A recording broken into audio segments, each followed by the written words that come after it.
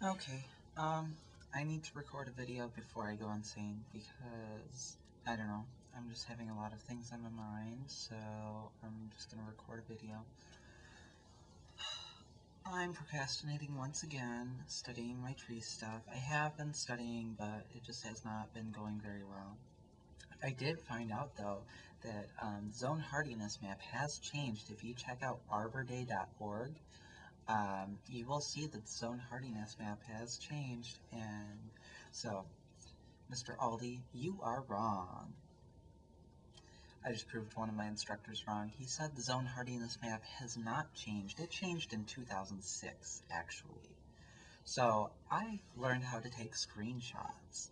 And for anyone that does not know how to take screenshots uh, in Windows XP, um, just press the, oh fuck, um, Alt, press Alt and um, the print screen key, which is like right after F12 on a normal Windows keyboard. I hate Windows, so I never ever use it if I don't have to. Um, I have to at work, obviously, because everything runs on Windows. But right now I'm on a Mac, and it's amazing. I love it. So, Anyway, anyone who is unfortunate enough to be using Windows and needs to take a screenshot, Alt and uh, print screen. And then you would actually open up Paint under Accessories and the, under the Start menu and then paste it in there. I'm assuming you can probably paste it into like a Word document or something like that. Probably not going to be too much more difficult, just pasting it into a different area. Um, but yeah, that was fun. So I took screenshots um, of these web pages that I was viewing uh, just to prove my teacher wrong, and it was kind of fun. I love proving my teachers wrong because all too often they think they're right. They are not. The Bible, they are not always right, and I shouldn't make that comparison because the Bible is not always right, and most respects. I won't even touch on that subject. Um, but yeah, so that was interesting. I researched zone hardiness maps, even though I wasn't supposed to. I was supposed to be studying for trees, but it was fun anyway. And so I emailed him those screenshots, and I don't know yesterday I found out how to record a video in QuickTime, which is why my video quality is so good, Alex. So, you need a Mac with an iSight camera built in, and then that will come with QuickTime. And all you have to do when you pull up QuickTime is press, um, it's like, I don't know, File, yeah, File, and then New Recording, and it's pretty simple, so that's what I'm using right now, and that's why the quality is so awesome have the quality set to better on the uh, quality settings as well. So beg someone to get you a Mac because they're awesome and you should have one, Alex. But um, other than that, I don't know. I'm really, I'm probably just really hyper because I've had too much coffee.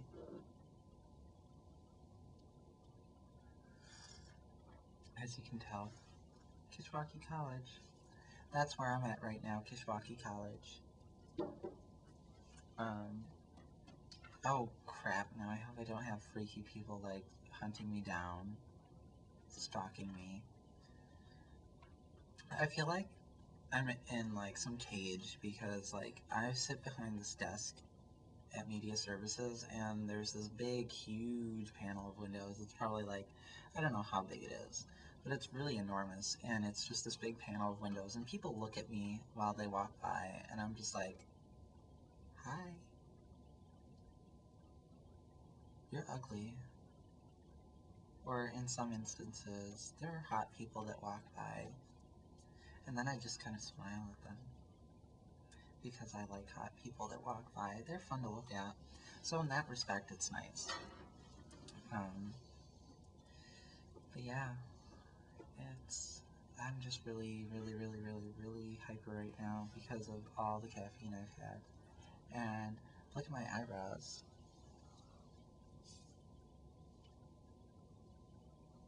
If I can get it to line up.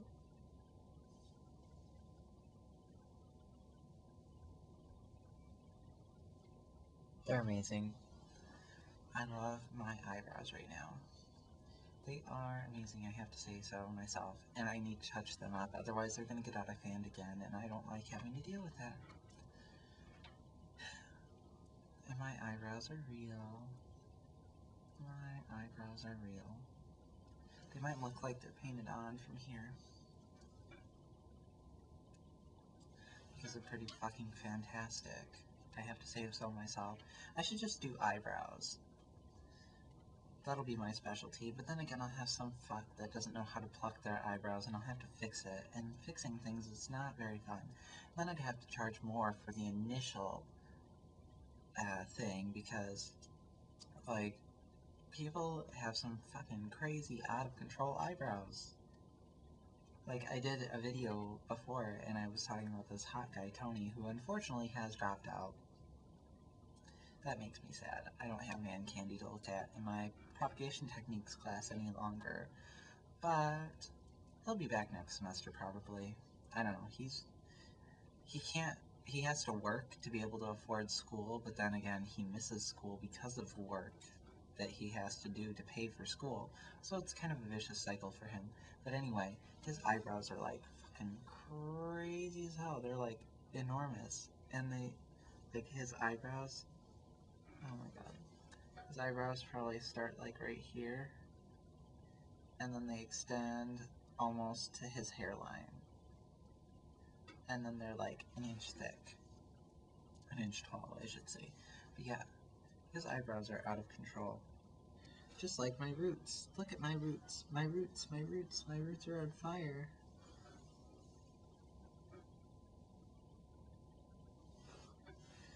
And I watched this really awesome video today about um, uh, the uh, Marie Antoinette like pompadour thing and it was really amazing.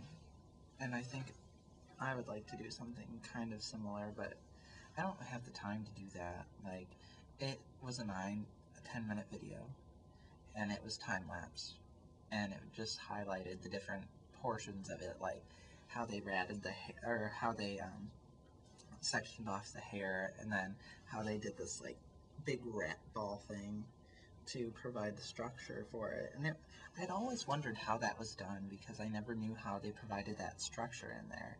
I didn't know if it was tissues or what it was, but they used like this fake hair inside of hairnet for like the rat, and it was really weird. But now I know how to do that. Not that I have the time, but it was interesting nonetheless.